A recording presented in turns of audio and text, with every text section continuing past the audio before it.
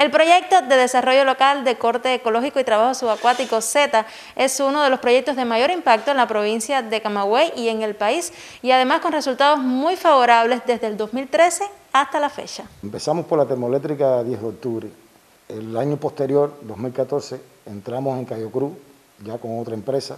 De ahí pasamos a Cayo Santa María con la empresa UCM. Nos encontramos también trabajando en la termoeléctrica del Mariel, en los cruceros de La Habana. Ojeda, como muy bien usted menciona, han trabajado en territorio tanto desde el occidente hasta el oriente del país. Y, por supuesto, todo, todos sus ingresos tienen una repercusión muy positiva en nuestra provincia de Camagüey, específicamente en nuestro municipio Nuevitas.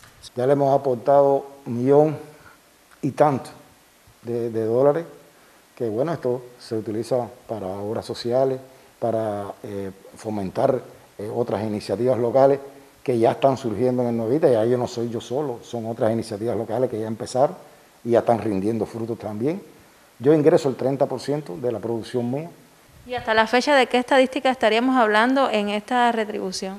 más de 3 millones de pesos el aporte de este mes. Este proyecto tiene una peculiaridad y es que, como muy bien dice su nombre, es de trabajo ecológico, o sea, de un impacto positivo para el medio ambiente. Sí, esta es una técnica de corte eh, con hilo diamantado, eh, que sí es verdad, tiene un impacto ecológico porque no se usa material fósil.